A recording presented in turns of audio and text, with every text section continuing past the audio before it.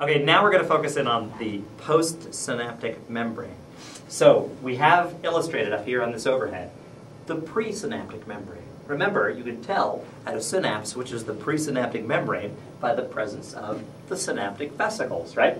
Which are packed with molecules of neurotransmitter, which is going to carry the chemical message across the synaptic cleft to the receptors that are located on the postsynaptic membrane. So what I want to focus in on here is, um, uh, or are these individual receptors. The, what are receptors?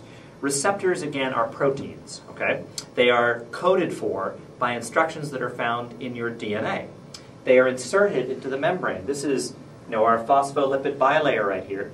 And these are these large protein receptors that extend across the membrane, and they receive information in the form of binding the neurotransmitter. So the neurotransmitter, which is you know, diffusing across the membrane, driven by the concentration gradient force, right, out of that vesicle, will sort of um, distribute itself around the synaptic cleft and bind to individual receptors. And remember, when something binds to something else, the entire complex changes its shape, changes its morphology, right?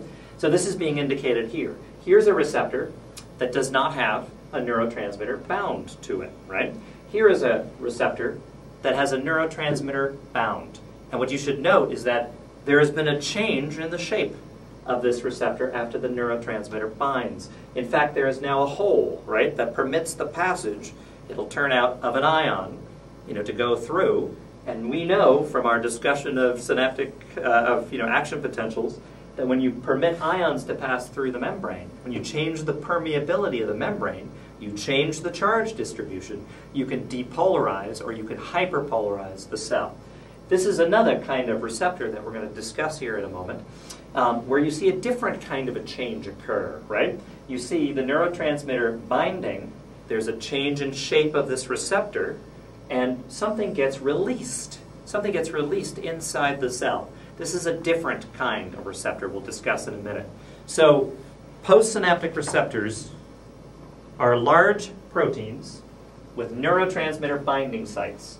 The neurotransmitter binds, and then the receptor changes shape, and then there is going to be some kind of consequence for the cell.